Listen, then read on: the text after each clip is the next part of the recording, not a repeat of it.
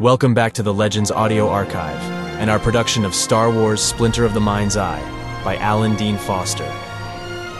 Please like, share, and subscribe if you enjoy listening.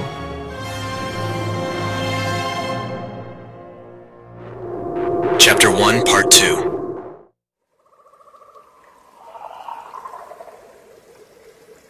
He blinked.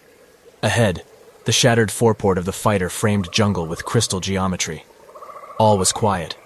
As he tried to lean forward, water caressed his face. That helped to clear his mind and bring the scenery into sharp focus. Even the rain was falling with caution, he mused. That is, if it were indeed a light rain, instead of an exceptionally heavy mist.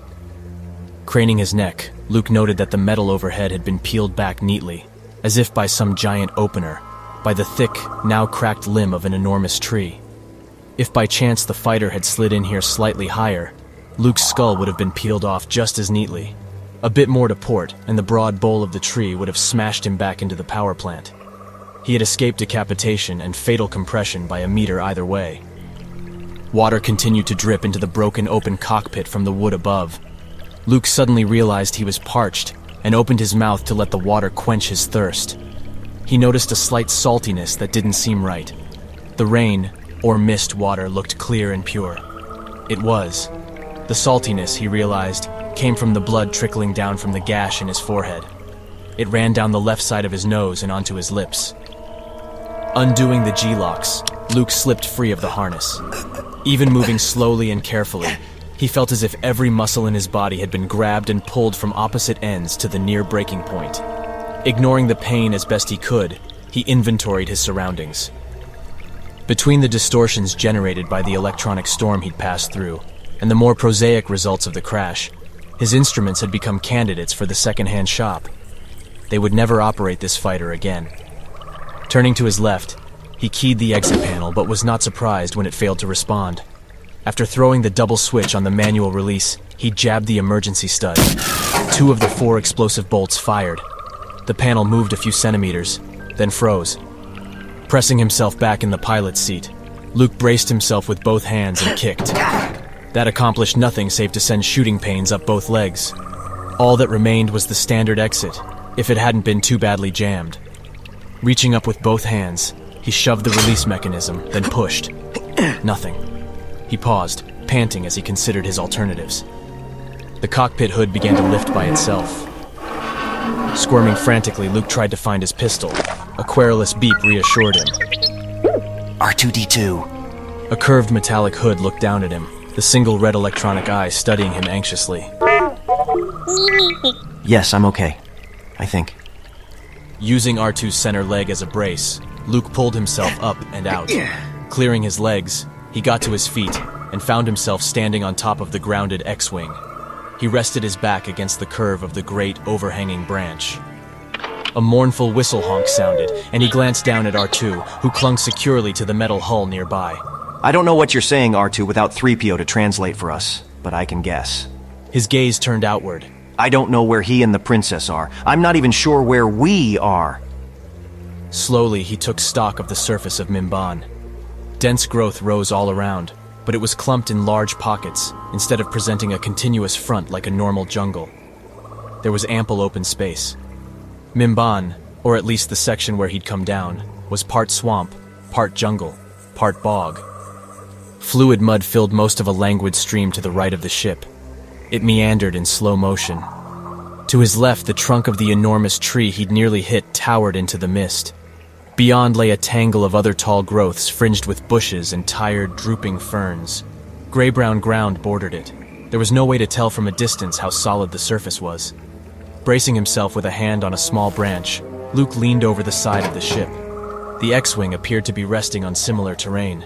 It wasn't sinking. That meant he might be able to walk. This was some comfort to him, since without a ship he was a rotten flyer.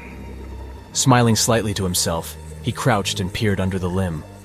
The double wing on the port side of the ship had been snapped off cleanly somewhere back in the forest, leaving only twin metal stubs. Both engines on that side, naturally, were also missing. Unequivocally, he was grounded. Carefully crawling back into the ruined cockpit, he unlocked the seat and shifted it to one side, then began rummaging in the sealed compartment behind it for the material he'd have to carry with him. emergency rations, his father's lightsaber, a thermal suit. The last because despite the tropic appearance of some of the vegetation, it was decidedly cool outside. Luke knew there were temperate rainforests as well as tropical ones. While the temperature would probably not become dangerously cold, it still could combine with the omnipresent moisture to give him an uncomfortable and potentially debilitating chill. So he took the precaution of packing the thin suit. The survival pack for his back was strapped to the backside of the seat. Unbuckling it, he began to fill its copious interior with supplies from the compartment. When the rip-proof sack was stuffed, he tried to seal the cockpit as best he could to protect it. Then he sat on the edge of the seat and thought. His preliminary observations had revealed no sign of the princess's Y-wing. Yet in the damp, foggy air, it could have touched down 10 meters away and still be effectively invisible. She probably had landed or crashed slightly ahead of him, according to his estimate of how rapidly he had set his own ship down. Lacking any other information, he had no choice but to continue on foot along his last plotted course for her. It had occurred to him to stand on the nose of the ship and shout, but he decided it would be better to locate the ship visually first. The cacophony of cries, hoots, howls, whistles, and buzzings which seeped out of the encircling bog and thick vegetation didn't encourage him to make himself conspicuous. Shouting might attract all sorts of attention, some of it possibly carnivorous. Better to find the princess's ship first. With any luck, she would be seated sensibly in the cockpit, alive and intact and fuming with impatience as she waited for him to arrive. Pulling himself clear of the cockpit again, Luke used branches for balance as he climbed down to the broken stub of the port double wing. He lowered himself carefully to the ground, which was soft, almost springy. Pulling up one foot, he saw that his boot sole was already coated with sticky gray gook that resembled wet modeling clay. But the ground held, supported him. R2 joined him a moment later. Thanks to the abruptness of his forced landing, he didn't have to search for a walking stick. There was an abundance of shattered, splintered limbs strewn in the fighter's wake. He selected one which would serve both for support and for testing the ground ahead. Using the nose of the ship as a crude guide, he set his TRACOMP and they started off, angling a few degrees to starboard. It might have been a movement of bush branches in the forest. It might have been the Force. Or it might have been an old-fashioned hunch. But even Ben Kenobi would have admitted that Luke had only one chance of finding the princess's ship. If it didn't lie close along the path he was taking, if he missed it and passed on, he could continue trotting the surface of Mimban for a thousand years without ever seeing her again. If his original plotting tape had been accurate, and if she hadn't altered her course of descent at the last moment for some strange reason, he ought to find her within a week. Of course, he considered, she might not have been able to prevent her fighter from changing its angle of fall. He shunted that possibility aside. The situation was grim enough without such speculations. The fog mist rain altered its consistency, but never dried up completely. So it wasn't long before the exposed portions of his body were thoroughly soaked.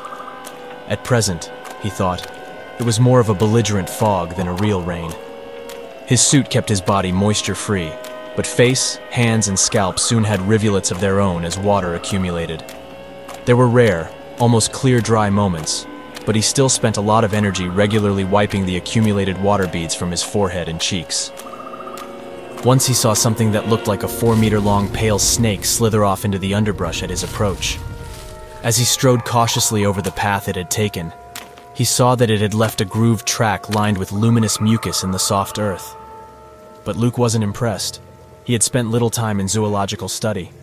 Even on Tatooine, which harbored its own protoplasmic freaks, such things hadn't interested him much. If a critter didn't try to eat you, claw you, or otherwise ingest you, there were other things to absorb one's interest. Nonetheless, he now had to direct all his attention to keeping to his predetermined path. Despite the TRACOMP built into his suit sleeve, he knew he could easily lose his way. A deviation of a tenth of a degree could be critical.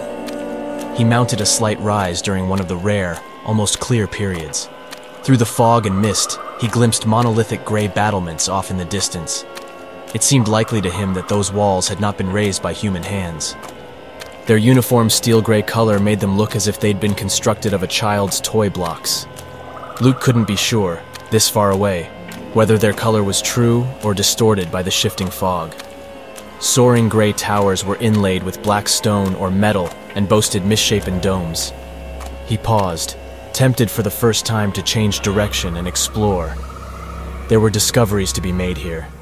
However, the princess waited not in that eldritch city, but somewhere further on, in an environment which at any moment might prove hostile.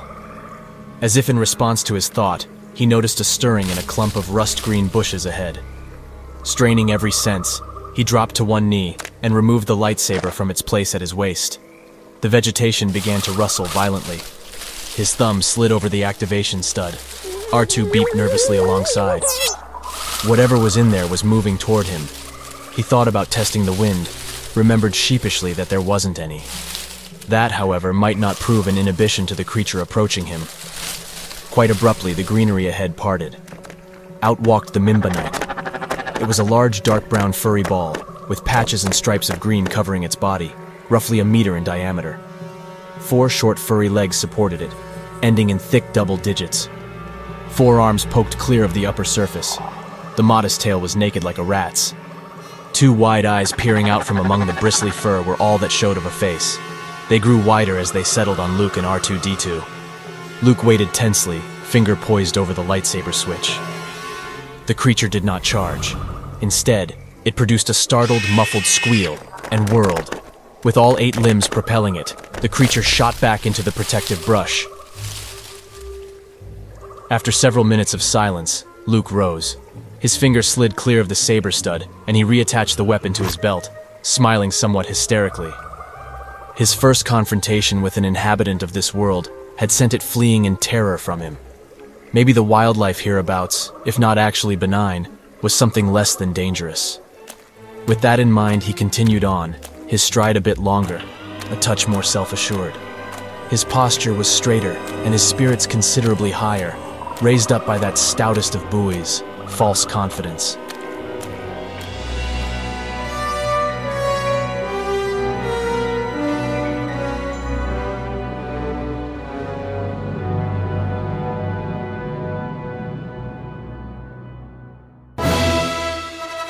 Thank you for listening. A lot of work went into this production, so if you enjoyed it, please subscribe and share with your friends. If you would like to support the Legends Audio Archive on Subscribestar, follow the link below, and only $6 a month will give you access to all our exclusive short stories and audio content unavailable anywhere else. Thanks again, and may the Force be with you, always.